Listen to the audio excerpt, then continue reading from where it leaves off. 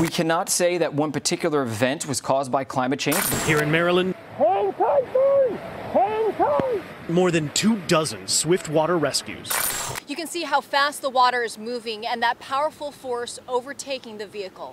It is so sad and, and so catastrophic. Uh, I really can't remember in my time as a meteorologist ever seeing flooding like this.